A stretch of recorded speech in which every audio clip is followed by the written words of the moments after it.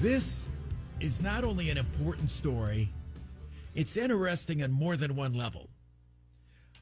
This is an issue that's come up repeatedly in Milwaukee, but it's now an issue in another community in Wisconsin.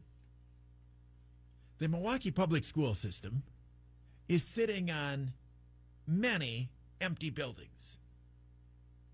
Even though they conned voters into drastically raising property taxes, and even though their state and federal aid is now being threatened because they can't account for any, where the money is going, where the money is being spent, they have a number of buildings that they're not using.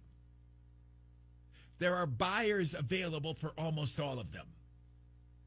But MPS doesn't want to sell them. Who would want a school building? By and large, somebody else that's going to start a school.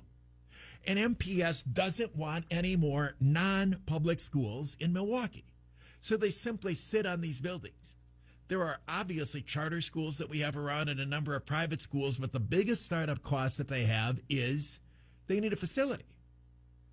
In order to have a school, if you just buy, say, a grocery store or something like that, tremendous amount of retrofitting.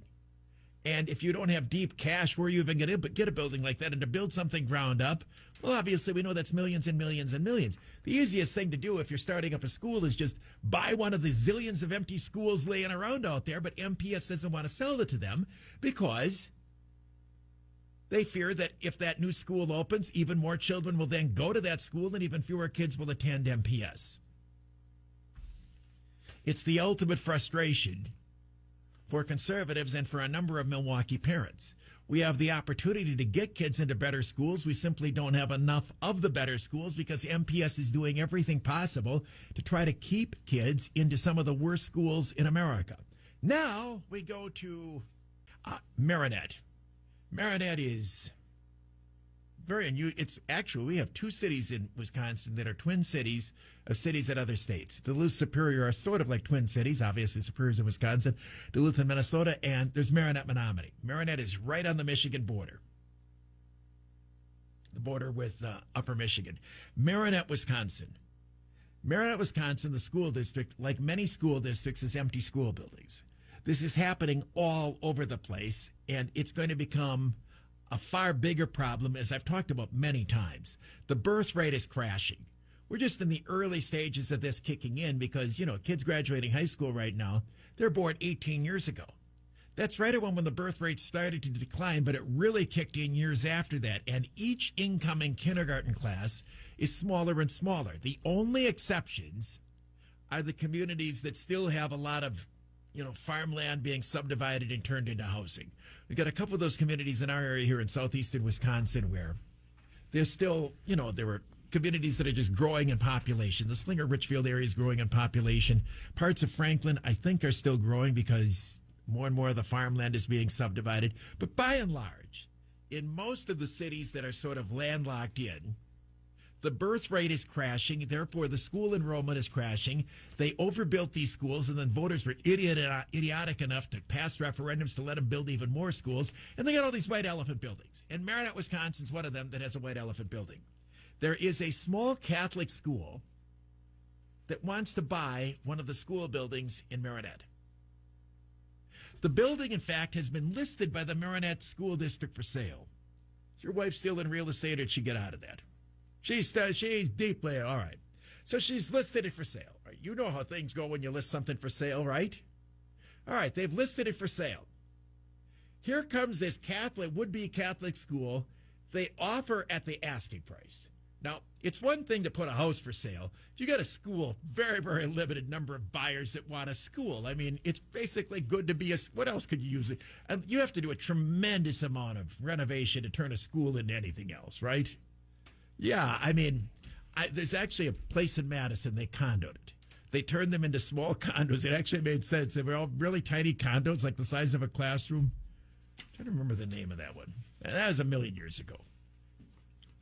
Yeah. Anyway, so somebody comes in. They got a school. They get offered the asking price. This is like golden, right? Marinette turned it down because the offer came from this Catholic school. First of all, they put a school for sale. Who did you think was going to put in an offer? QuikTrip? I mean, the only other potential buyer would be somebody who would want to knock it down for the land, which in fact has been done with some of these school buildings across the country and so on. Anyway, Marinette turned down the offer. And this is the story that gets interesting. The Wisconsin Institute of Law and Liberty, which is a conservative legal organization based in Milwaukee, is filing a lawsuit. It's presenting a legal challenge. In fact, the term is preparing a legal challenge. They haven't filed yet.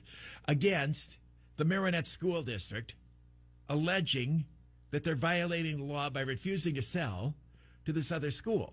And right in the statement from the Marinette School District, they come right out. They don't even lie about why they say this. They say we don't want more competition. So they come right out and say this. So WILL is pointing out, WILL is, it's clearly discriminatory, not to mention the fact that it is a terrible deal for the taxpayers. Now, I'm getting to my actual point here in a moment. First of all, if you're a properly run school district, you want to get you get cash and you get this white elephant off the books. You don't have to do the maintenance costs and so on. But the school district is afraid that they'll lose enrollment. And when you lose enrollment, you lose state aid, which these th- school districts live for. Anyway, the point here is that this is a comment made by the school board member. And this brings me to the point I want to make. School board members' jobs is not to look out for the interest of the people who run the schools. The school board is to look out for the interests of the community. If you're a member of the school board, you have an obligation to do what's best for the community, not for the hacks who work for the school system. Let's imagine I lived in Marinette. I'm on the school board. Well, the school district's going to lose enrollment.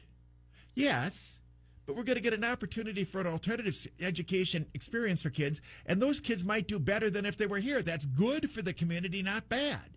It's not good for somebody that might be laid off who works as an overpaid hack who works for the Marinette school system, sucking down their big pension, taking summers off, and, you know, retiring at the age of 55. It may not be good for them if we have to get rid of a few of them, but it is certainly good for the community if you have thriving alternatives for education and you get a private school that opens up in there that pushes the envelope and makes the public schools finally do a better job of educating kids. These school board members, however, and I talk about this a lot, it happens it happens to conservatives as well as liberals. We talk about it with regard to people elected to Congress from Iowa and Maine and Nevada and Wisconsin, and they're a few years and they suddenly think they're Washington.